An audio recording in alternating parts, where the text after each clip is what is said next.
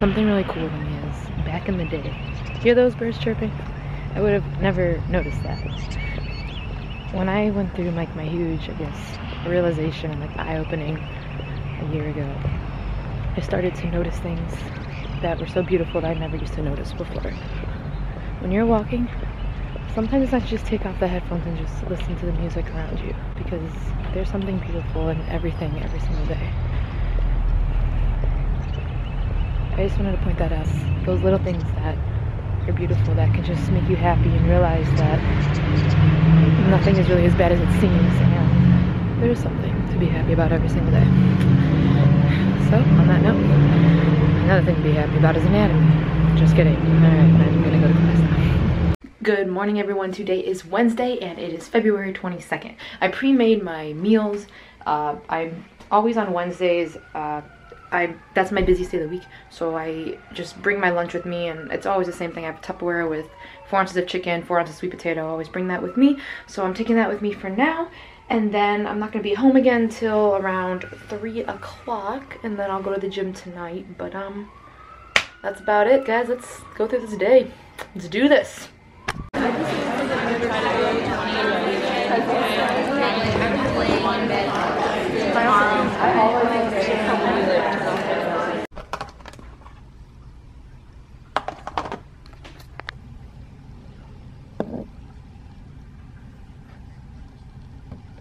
Hi guys, so today I want to talk about something a little bit different. So I don't know how many people are familiar with what is called the DASH diet.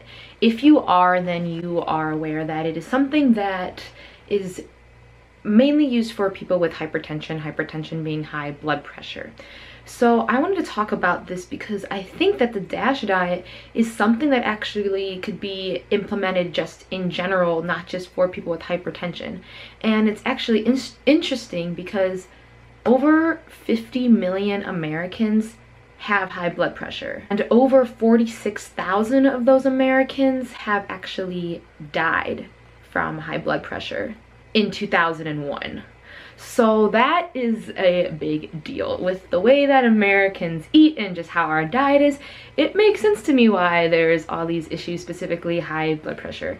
But the DASH diet is something, uh, dietitians implement this all the time for people that have this uh, issue or people that are at risk for high blood pressure already have it.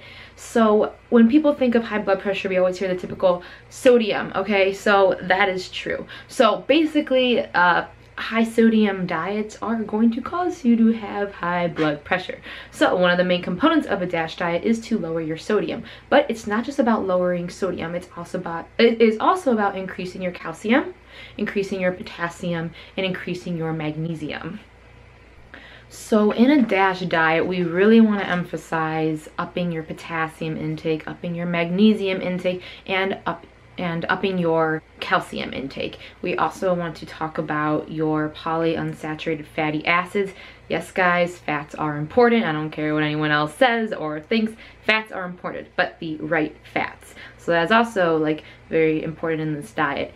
Um, my two, I, I like to generally myself follow a Mediterranean diet. So I'm always going between the Mediterranean diet and I've also been implementing kind of the style of the DASH diet lately myself, just from as I've learned more about it. Also guys, exercise. Exercise is going to also tremendously lower your blood pressure.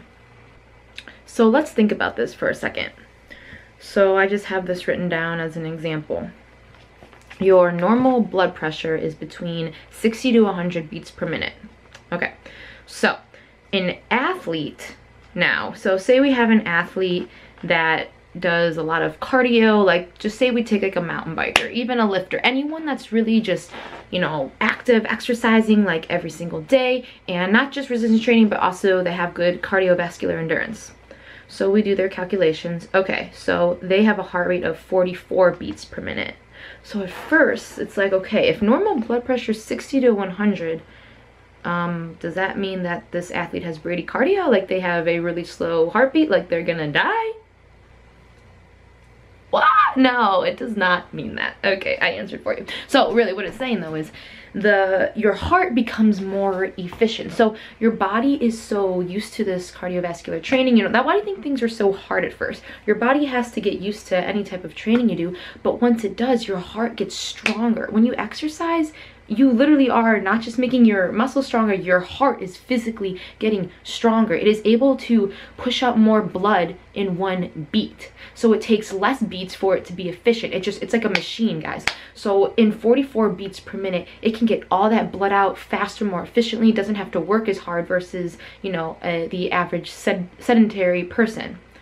So exercise is going to help your blood pressure because it's going to lower the beats per minute and just it's just a whole thing. It's diet and exercise, guys. It it's proven, guys. There's statistics. We know this for facts. There you go. According to AHA guidelines, there is what we call the salty six. Soup, sandwich, poultry. Uh, we got pizza, we got cold cuts, we got bread, rolls. Those are like some of the main things that you're gonna want to technically stay away from. Poultry is an issue for me. I ate a lot of chicken and turkey and all that stuff. Um, obviously this isn't too much of an issue for me, but if this is something that you potentially see yourself struggling with, or if you're just on a journey to really just get your health together, get weight loss, uh, work on if you have people in your family that have had blood, blood pressure, hypertension, or CVD or something, this would be a great thing for you to try and work on.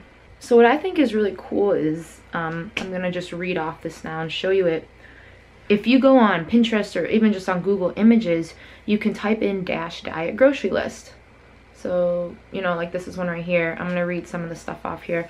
And you can just take it with you. This is the same thing if you're doing the Mediterranean diet. All you've got to do is literally go online and look up a grocery list and just take it with you and then there's always there's so many sources online for things and as i do this more i'm gonna try to post more uh, different recipes i try out and stuff now, for instance, like under fresh, they have a, this one has something for fresh vegetables, for cereal, uh, grains, blah, blah, blah. Like under fresh vegetables, it has artichokes, asparagus, beets, bell peppers, broccoli, Brussels sprouts, cabbage, carrots, celery, corn, eggplant, green beans, etc.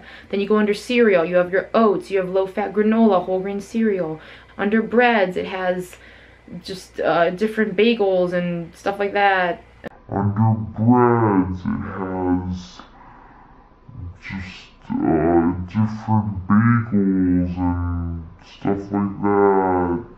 Under fresh fruits, apples, apricots, bananas, blueberries, strawberries, raspberries. Under your grains, brown rice, couscous, kasha, quinoa. Like it, it has all the different stuff laid out so you can find things that you personally like and go from there. An amazing source is always going to be eatright.org. I highly recommend that. Eatright.org, myplate.org. Um, they have a lot of good uh, information on there. So you're buying not just what the, the, grocery list says but the nutrient dense sources of it. Now i also talked about polyunsaturated fatty acids. What are some good sources of that? You know we have soybean oil we have corn oil uh, we have avocados we have like the fatty fish such as salmon there's most fish are gonna be good for you but the best one uh, we even talked about this in class. I remember I asked them like, so what fish do you go for? Generally, most fatty fishes, or just in general, but salmon is always to be your best bet. But always, always aim for monounsaturated and polyunsaturated fatty acids. Now, the reason that we say polyunsaturated fatty acids is because they they contain arachidonic acid, which is a precursor for prostaglandin. Now, prostaglandin does a lot of things. Like one of the first things it does is the contraction of smooth muscle as well as the relaxation of it. It also is for the dilation and constriction of blood vessels and with that the control of blood pressure and modulation of inflammation. The more polyunsaturated fatty acids we have in our diet, the more that's also going to help to lower our blood pressure because of the prostaglandins. Dilation, constriction of blood vessels, lowering your blood pressure, like the DASH diet, exercise, it is so important. So really work hard on lowering your sodium. We want to go somewhere between 1500 to 2300 milligrams a day of sodium. And then generally, like for instance, for calcium, the general recommendation is 1200 milligrams for mm. ages, I believe, 19 to 50. And then we want to take it up to, for calcium, the general recommendation is 1000 milligrams okay? So we want to bump it up to about 1200 milligrams on this dash diet. So my point with that saying is for magnesium and potassium and calcium we want to be above the general recommendation sodium we really want to take down and we want to up those polyunsaturated fatty acids. So do some research look it up see if there's something that could fit you and really understand see your body as this vessel taking you through life. Like you really need to take care of it guys. Try to find a diet that sticks to you. Don't go for the fad diets okay? Stop going for the fad diets. Go for something that actually is a lifestyle change. Like that's why i always preach the mediterranean diet like crazy because I mean, growing up Greek, I mean, I've kind of been around it my whole life, but that's something I've always followed because it's it's proven like the foods in it are proven. Like look at people in other countries like how healthy they are how their longevity of life is so the dash diet is something else I wanted to introduce just because it is for people with high blood pressure doesn't mean it's something you can't try yourself even if that's not something you struggle with why not try preventing it from now and having a healthy heart so I hope you guys found this help helpful. Let me know if you want more information on stuff like this. But between the Mediterranean diet and the DASH diet, I'm going to like implement those two styles into my daily living. As I do already, but I'm going to work on it harder because, you know, I trip up too. And I'm eliminating certain things. But again, guys, stay away from the fad diet. Stay away from these stupid little things online you can buy and just try to find something that works for you that you can stick to on the daily and find new recipes for and something that really just gets you excited. So with that being said, um, if you guys do try out the dash diet, let me know. If you guys want me to see doing more recipes of the dash diet or different like alternatives to other meals or snacks you do, how can you replace it, replace it in the style of a dash diet? Feel free to let me know in the comments below. But I hope you guys have a wonderful day. I'm off to go train legs now, even though I'm really sore and my hips are... I went for, uh, I don't like do powerlifting, but I did attempt my max out on deadlift last week where I hit 295, which still like, I still trying to process that, which was amazing, but the issue is my hips are killing me now. So please stretch guys. If there's anything I could tell myself in the past, it'd be to stretch more, do yoga, roll out. So I'm trying to do that now. You should too, because if not, you're to pay for it later like I am. So yeah. Alright guys, I will catch you later. Like a machine, we all need repairs. I used to think that as all these repairs added up, I was really just falling apart more. That each time I thought I was fixed, another piece of me fell off and needed more work done. I used to think that by going to different mechanics that maybe one could fix me maybe even replace some of these broken parts in exchange for new ones. I grew tired and I grew weak.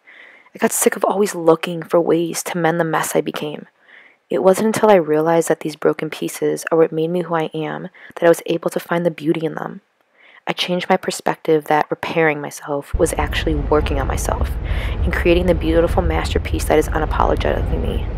We become more beautiful after being broken, now, looking back, I would never trade the pain and experience I've gained over the years because they have made me become who I am today. That realization is how, even with my broken pieces, I became unbroken. Realize the best mechanic you can go to is free. It's God. God knows we are all broken people, and through Him, we will be made unbroken and find a love we never knew existed. I promise. Love every ounce of your being, because like a machine, we were created for a purpose. I am unbroken.